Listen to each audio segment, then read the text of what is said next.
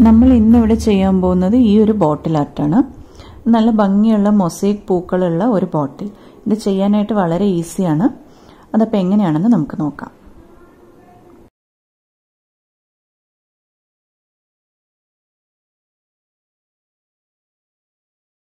ആദ്യം നമുക്കിതിനായിട്ട് കുറച്ച് മുട്ടത്തോട് നന്നായി കഴുകി വൃത്തിയാക്കി എടുത്തു വെക്കണം. അതിനകത്തൊരു ചെറിയൊരു തിന്നായിട്ടുള്ളൊരു മെംബ്രെയിൻ ഉണ്ടാവും. മുട്ടത്തോടിനകത്ത് അതൊക്കെ നന്നായി റിമൂവ് ചെയ്ത് കഴുകി ഡ്രൈ ആക്കി എടുക്കണം. അതിനുശേഷം നമ്മളിത് പെയിന്റ് ചെയ്തെടുക്കാൻ പോവാണ്. ഞാനിവിടെ അക്രൈലിക് കളേഴ്സാണ് യൂസ് ചെയ്യുന്നത് നിങ്ങൾക്ക് ഇഷ്ടമുള്ള അക്രൈലിക് കളേഴ്സ് എടുത്ത് ഒരു ബ്രഷ് യൂസ് ചെയ്ത് മുട്ടത്തോടിൽ പെയിന്റ് ചെയ്തെടുക്കാം. ഇതിൽ വെള്ളം ചേർക്കേണ്ട ആവശ്യമില്ല. പെയിന്റ് ഒത്തിരി കട്ടിയായിട്ടുണ്ടെങ്കിൽ മാത്രം ചെറുതായിട്ടൊന്ന് ഡൈലൂട്ട് ചെയ്തെടുക്കാം. ഈ രീതിയിൽ നമുക്ക് മുട്ടത്തോടുകളെല്ലാം പെയിന്റ് ചെയ്തെടുക്കണം. ഞാനിവിടെ രണ്ട് കോട്ട് പെയിന്റ് ചെയ്തിട്ടുണ്ട്. ഒരു കോട്ട് അടിച്ച് ഡ്രൈ ആയതിനു ശേഷം ഇനി ഒരു കോട്ട് കൂടെ കൊടുത്തിട്ടുണ്ട്. ഇത് ബ്രഷിന് പകരം വേണമെങ്കിൽ സ്പോഞ്ച് യൂസ് ചെയ്തിട്ടായാലും നിങ്ങൾക്ക് പെയിന്റ് ചെയ്തെടുക്കാം.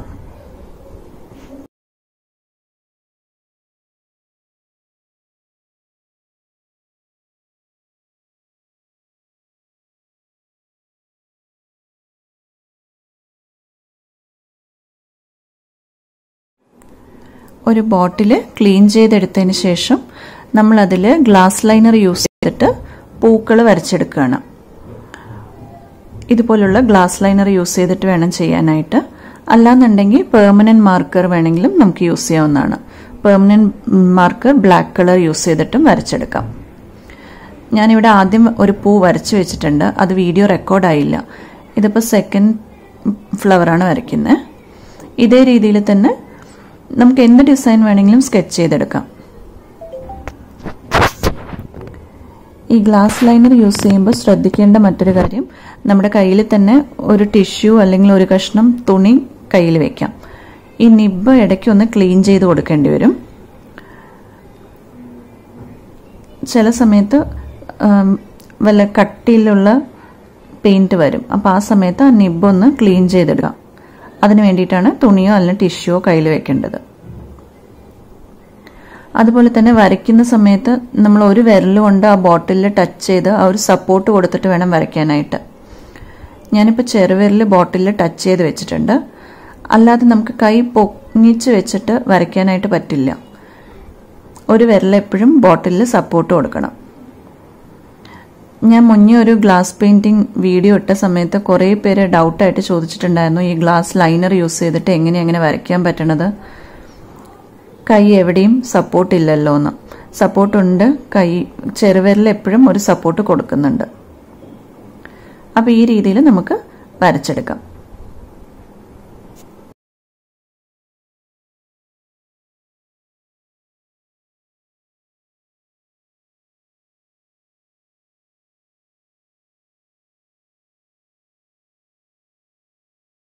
ഇതേ രീതിയിൽ ഒരു ഫ്ലവർ കൂടെ വരച്ചു കൊടുക്കാം. ഞാനിവിടെ ബോട്ടിലിന്റെ ഒരു വശത്ത് മാത്രമേ ഡിസൈൻ ചെയ്യണുള്ളൂ നിങ്ങൾക്ക് വേണമെന്നുണ്ടെങ്കിൽ ഫുൾ എല്ലാ വശത്തും ഇതേ പൂക്കൾ യൂസ് ചെയ്ത് സെയിം പാറ്റേൺ ചെയ്തെടുക്കാം. ഇപ്പം നമ്മുടെ ഡിസൈനൊക്കെ നന്നായി ഡ്രൈ ആയിട്ടുണ്ട്. ഈ ഗ്ലാസ് ലൈനർ കൊണ്ട് വരച്ചത് കംപ്ലീറ്റ് ഡ്രൈ ആയതിനു ശേഷം മാത്രമേ നമ്മൾ അടുത്ത സ്റ്റെപ്പിലോട്ട് മൂവ് ചെയ്യാൻ പാടുള്ളൂ. ഇനി നമ്മൾ ചെയ്യുന്നത് white colour acrylic paint use ചെയ്തിട്ട് ആ ഫ്ലവേഴ്സ് ഫുൾ ഫില്ല് ചെയ്തെടുക്കുകയാണ്. നമ്മുടെ ഈ ഗ്ലാസ് ലൈനർ കൊണ്ട് വരച്ചത് ഡ്രൈ ആവാനായിട്ട് കുറച്ചധികം സമയമെടുക്കും. ഒരു വൺ ഒക്കെ ടൈം എടുക്കും. അപ്പോൾ അത് കുറച്ചെങ്കിലും ഡ്രൈ ആയിട്ടില്ല എന്നുണ്ടെങ്കിൽ വൈറ്റാണ് നമ്മൾ അപ്ലൈ ചെയ്യുന്നത്. അതുകൊണ്ട് ആ ബ്ലാക്ക് പെട്ടെന്ന് വൈറ്റിലോട്ട് സ്പ്രെഡ് ആവും. അതുകൊണ്ട് നന്നായി ഡ്രൈ ആയതിനു ശേഷം മാത്രമേ ഈ സ്റ്റെപ്പ് ചെയ്യാവൂ.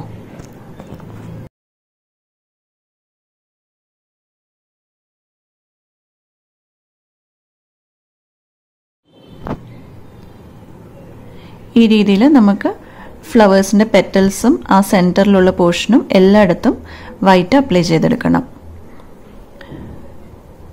ഒരു കോട്ട് വൈറ്റ് മതി. ഇതിന് മേലെ നമ്മൾ എക്ഷൽസ് ഒട്ടിക്കുന്നുണ്ട്. അതുകൊണ്ട് വൈറ്റ് ഒരു ഒത്തിരി കോട്ട്സ് കൊടുക്കണമെന്നില്ല. ജസ്റ്റ് ഒരു കോട്ട് മതി.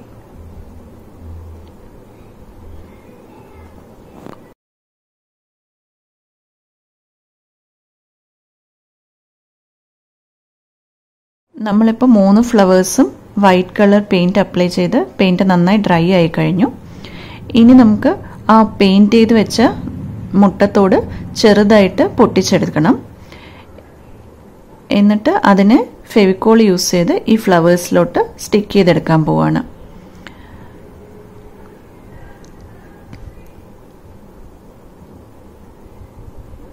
ഈ രീതിയിൽ ഫെവിക്കോൾ അപ്ലൈ ചെയ്തതിന് ശേഷം ഈ മുട്ടത്തോടുകൾ എടുത്ത് അതിലോട്ട് സ്റ്റിക്ക് ചെയ്യാം. ഞാനിവിടെ ചെയ്തിരിക്കുന്നത് ഓരോ ഫ്ലവറും രണ്ട് ഷെയ്ഡ് യൂസ് ചെയ്തിട്ടാണ് ഫില്ല് ചെയ്തെടുത്തിരിക്കുന്നത്. ഈ ആദ്യത്തെ ഫ്ലവറിൽ ഓറഞ്ചും യെല്ലോവും കൂടെയാണ് ഫില്ല് ചെയ്യുന്നത്. ഞാനിവിടെ ഇങ്ങനെ ഒരു പെൻസിൽ യൂസ് ചെയ്യുന്നുണ്ട്. ഇത് നമ്മൾ നോർമലി റൈൻ സ്റ്റോൺസ് ഒക്കെ പിക്കപ്പ് ചെയ്യാൻ യൂസ് ചെയ്യുന്ന പെൻസിലാണ് ഈ ജ്വല്ലറി ഒക്കെ ഉണ്ടാക്കുന്ന സമയത്ത് ആ കുഞ്ഞു സ്റ്റോൺസ് ഇല്ലേ ആ സ്റ്റോൺസ് ഇങ്ങനെ പിക്ക് ചെയ്ത് അവിടെ അറ്റാച്ച് ചെയ്യാൻ വേണ്ടിയിട്ടാണ് നമ്മൾ യൂസ് ചെയ്യുന്നത്. ഈ പെൻസിലിന് ചെറിയൊരു സ്റ്റിക്കിനെസ് ഉണ്ട്.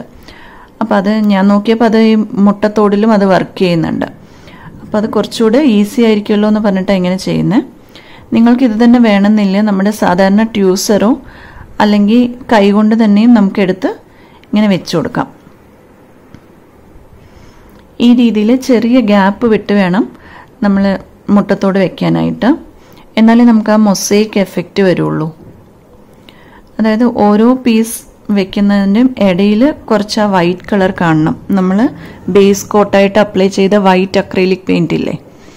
അത് കാണണം. ഈ മുട്ടത്തോടിന്റെയൊക്കെ ഇടയിലുള്ള ഭാഗത്ത് ആ വൈറ്റ് വരത്തക്ക വിധത്തിൽ ഇത് നമുക്ക് പേസ്റ്റ് ചെയ്ത് കൊടുക്കാം.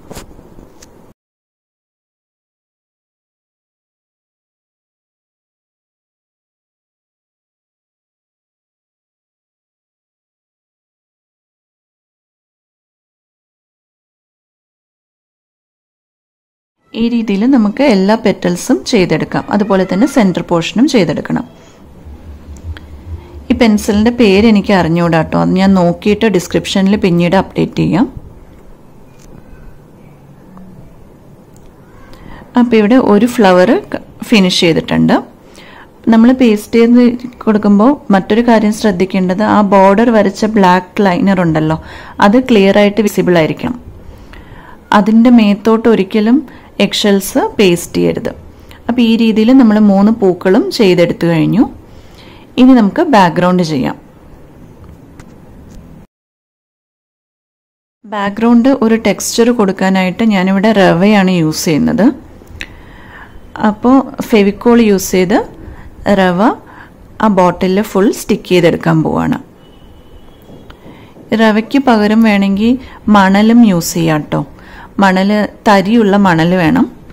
തരിയുള്ള മണലുണ്ടെങ്കിൽ റവ യൂസ് ചെയ്യുന്ന അതേപോലെ തന്നെ മണൽ നമുക്ക് അവിടെ സ്റ്റിക്ക് ചെയ്ത് കൊടുത്താൽ മതി. എനിക്കിവിടെ അങ്ങനത്തെ മണൽ കിട്ടിയില്ല. അതുകൊണ്ടാണ് റവ തന്നെ എടുക്കുന്നത്.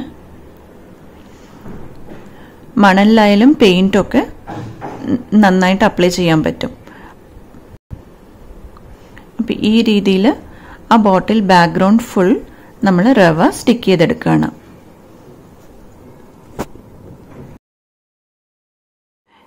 ഇതിപ്പോൾ ഫുൾ ബാക്ക്ഗ്രൗണ്ട് ഫുൾ റവ ഒട്ടിച്ചെടുത്തിട്ടുണ്ട്. ഇനി ആ ഫെവിക്കോൾ ഒട്ടിച്ച് ഡ്രൈ ആയതിനു ശേഷം ആ എക്സ്ട്രാ ഉള്ള റവ ഉണ്ടല്ലോ അത് ജസ്റ്റ് കൈകൊണ്ടൊന്ന് വൈപ്പ് ചെയ്ത് കളയണം. അതിനുശേഷം നമുക്ക് പെയിന്റ് ചെയ്യാം.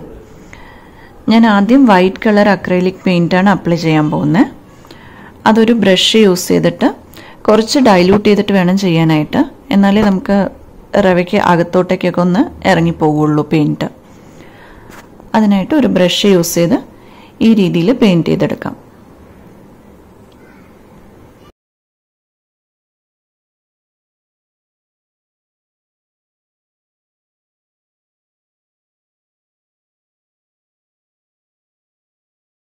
ഈ പെയിന്റ് അപ്ലൈ ചെയ്യുന്ന സമയത്തും നമ്മൾ ആ ഗ്ലാസ് ലൈനർ കൊണ്ട് വരച്ച ബ്ലാക്ക് ബോർഡർ അതിന്റെ മേത്ത് കവറായി പോവാതെ നോക്കണം. ഇപ്പോൾ ഇവിടെ വൈറ്റ് ഫുൾ അപ്ലൈ ചെയ്തെടുത്തിട്ടുണ്ട്. ജസ്റ്റ് ഒരു ഫ്ലവേഴ്സിനൊക്കെ ചുറ്റും ഒരു ചെറിയൊരു ബോർഡർ പോലെ വൈറ്റ് അപ്ലൈ ചെയ്തിട്ടുണ്ട്. ഇനി ബാക്കിയുള്ള ഭാഗത്ത് യെല്ലോ കളർ അപ്ലൈ ചെയ്യാൻ പോവാണ്. ഇതെല്ലാം അക്രൈലിക് പെയിന്റ് തന്നെയാണ് യൂസ് ചെയ്യുന്നത് കുറച്ചൊന്ന് ഡൈലൂട്ട് ചെയ്തിട്ടാണ് എടുത്തിരിക്കുന്നത് ഈ രീതിയിൽ യെല്ലോ അപ്ലൈ ചെയ്ത് കൊടുക്കാം. ആ വൈറ്റും യെല്ലോവും കൂടെ ചേരുന്ന സ്ഥലത്ത് ചെറുതായിട്ടൊന്ന് മേർജ് ചെയ്ത് കൊടുത്തിട്ടുണ്ട്.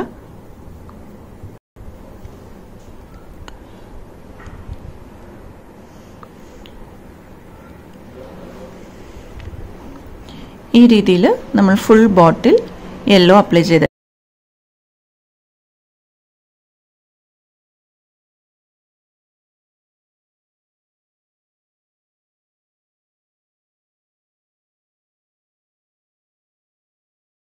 ഇപ്പോൾ ഫുൾ യെല്ലോ അപ്ലൈ ചെയ്തെടുത്തിട്ടുണ്ട്. ഇനി നമ്മൾ ആ ബോട്ടിലിന്റെ മോൾ ഭാഗത്ത് കുറച്ച് യെല്ലോ ഓറഞ്ച് കളർ അപ്ലൈ ചെയ്യാൻ പോവാണ്. ഞാനിവിടെ ഒരു സ്പോഞ്ച് യൂസ് ചെയ്തിട്ടാണ് ആ ഓറഞ്ച് അപ്ലൈ ചെയ്യുന്നത്. നിങ്ങൾക്കൊരു പെയിന്റ് ബ്രഷ് യൂസ് ചെയ്തിട്ടായാലും ഈ സ്റ്റെപ്പ് ചെയ്യാവുന്നതാണ്.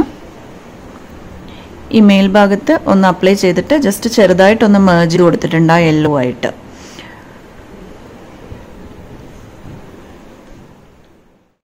അങ്ങനെ നമ്മുടെ ബോട്ടിൽ ഇവിടെ റെഡി ആയിട്ടുണ്ട്. നിങ്ങൾക്ക് എല്ലാവർക്കും ഈ വീഡിയോ ഇഷ്ടമായിട്ടുണ്ടാവുമെന്ന് വിചാരിക്കുന്നു. എല്ലാവരും ട്രൈ ചെയ്ത് നോക്കണം. എന്നിട്ട് അഭിപ്രായങ്ങൾ അറിയിക്കണം. Thanks for watching.